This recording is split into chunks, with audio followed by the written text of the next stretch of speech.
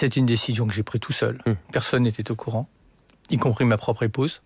Y compris votre entourage proche Y compris mon entourage proche. Votre, assistant n'était pas au courant. Absolument Parce que, on va dire la vérité. On, a pris un café avec vous juste avant que vous mm. rentriez dans le studio. Ça dure cinq minutes et c'est pas du mm. tout ce que vous nous avez dit. Pas une, seconde, vous avez dit. C'est la décision. Vous étiez en colère. C'est la décision la plus intime, la plus difficile, la plus cruelle, mais la plus responsable que je devais prendre. Ou alors, ça veut dire que tout ce que je dis depuis des années, j'y crois pas. Voilà, sur la gravité de la situation.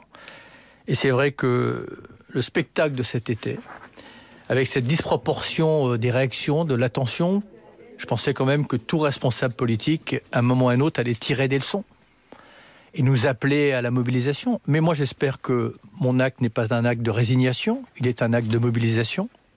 Et j'espère qu'il entraînera euh, derrière un sursaut